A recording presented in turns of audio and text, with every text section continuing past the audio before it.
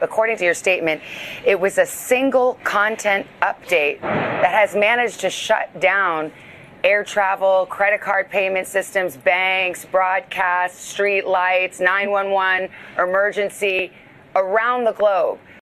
Здравствуйте, друзья! Странную картинку сегодня нашел в комментариях в своем телеграм-канале. Кстати, подпишитесь на него, там совсем чуть-чуть до 20 тысяч осталось. Ссылка в описании. Смотрите, Ukraine Incident, а затем Major Cyber Attack, главная кибератака. А сегодня случилась главная кибератака. Если вы работаете в IT-службе или работаете с компьютером, вероятно, сегодня вы столкнулись с этим безумием. Особенно, если вы находитесь за пределами Российской Федерации, ведь Российскую Федерацию это практически не коснулось. Пять часов назад началось то, о чем сейчас говорят все. Говорят, что это, вероятно, самый большой сбой в работе интернета во всем мире. Самый масштабный сбой в работе информационных технологий в истории человечества. Это действительно похоже на глобальную массивную кибератаку. Глобальный технический сбой затронул системы в США, Великобритании, Германии, Японии, Израиле, Индии и других странах. И он ударил по всему – супермаркетам, аэропортам, банкам, бизнесам, больницам. Это какой-то киберапокалипсис, в котором котором оказался виноват Windows и система безопасности CrowdStrike, которая и привела к глобальным аномальным сбоям, Прямо Skynet какой-то. И это влияет на все по всему миру. Авиакомпании прекратили полеты, американцы приказали своим самолетам сесть, пока проблема не будет решена. Посмотри, к чему это привело на карте авиаперелетов. Небо над континентальной частью США опустело. Банки не работают, банкоматы, супермаркеты и многие другие места. Конечно же, веб-сайты, больницы, даже МРТ. Просто все эти вещи, к которым мы привыкли, все перестало работать. И это происходит глобально, хоть и не во всех странах, но масштабы инцидента такие, каких мы никогда не видели раньше. И, конечно же,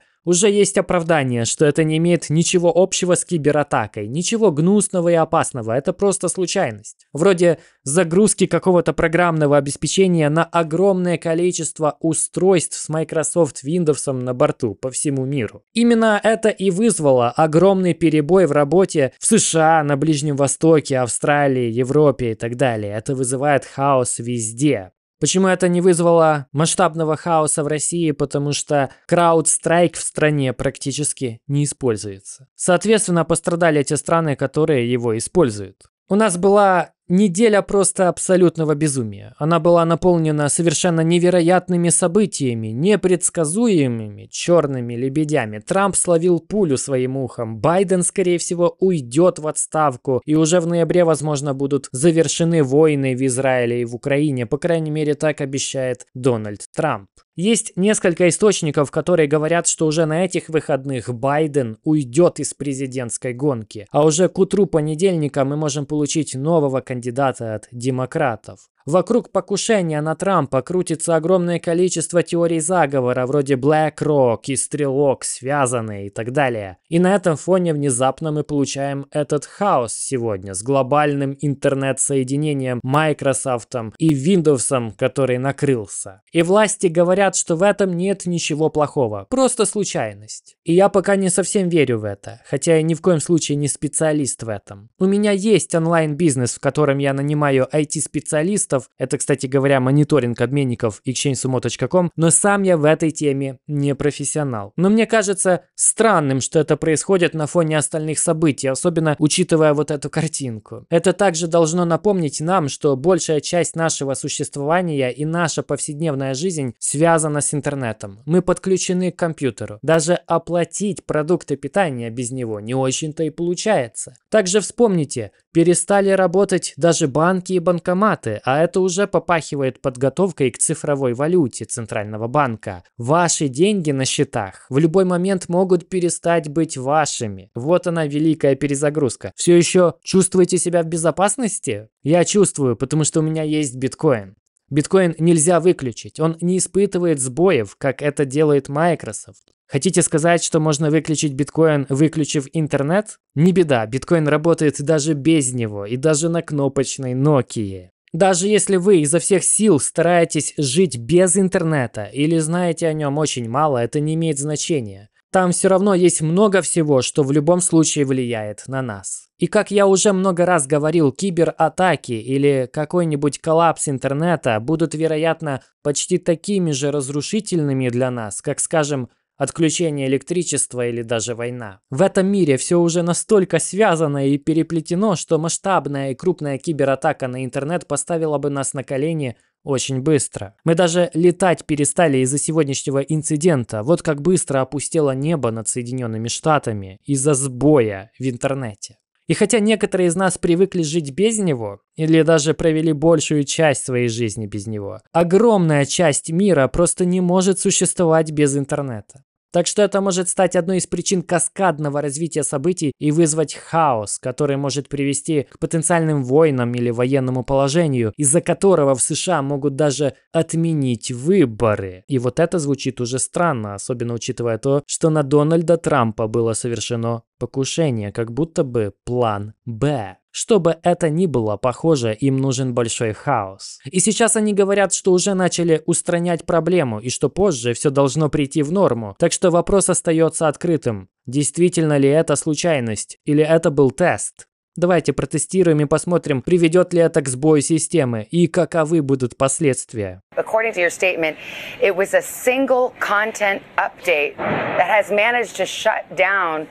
Air travel, credit card payment systems, banks, broadcasts, street lights, 911, emergency around the globe. Why is there not some kind of redundancy or some sort of backup? How is it that one single software bug can have such a profound and immediate impact? Well, when you look at the complexity of cybersecurity, you're always trying to stay one, excuse me, one step ahead of the adversaries. Excuse me. Man, just one second, please. Oh yeah, take take a drink of Yeah. water. Yeah, sorry. Sure.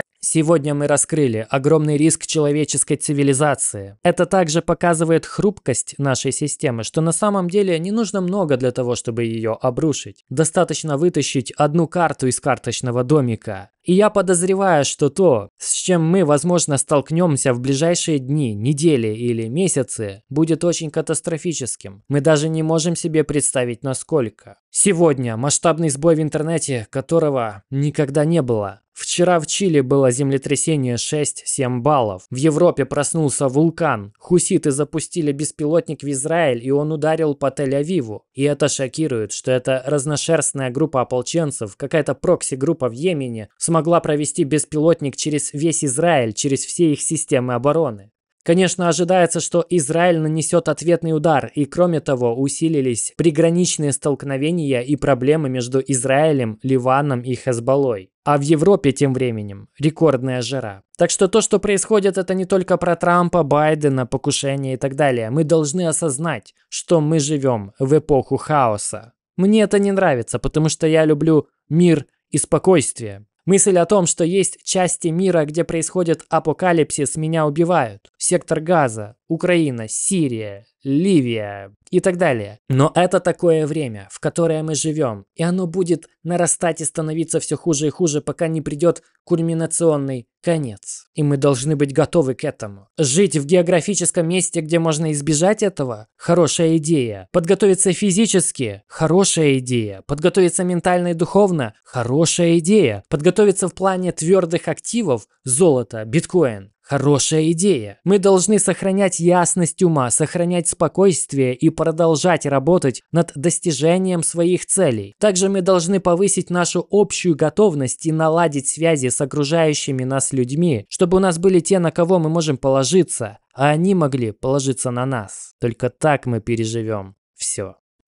but still pay insufficient attention to the frightening scenario of a comprehensive cyber attack, which would bring to a complete halt to the power supply, transportation, hospital services, our society as a whole.